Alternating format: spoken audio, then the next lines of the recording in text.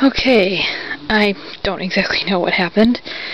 This was cut into two straight pieces and then rounded off for the tip of the tail.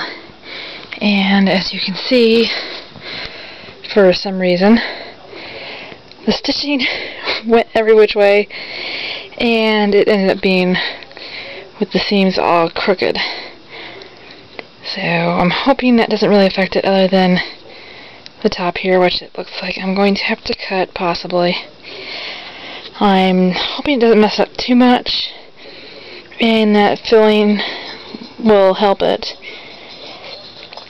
Unfortunately, the, comb, the foam core I had cut for it for the tip of the tail refuses to work properly. So I gotta figure another way to have it so that the tail tip curves up and that way it's not actually dragging on the ground. So that's out for now.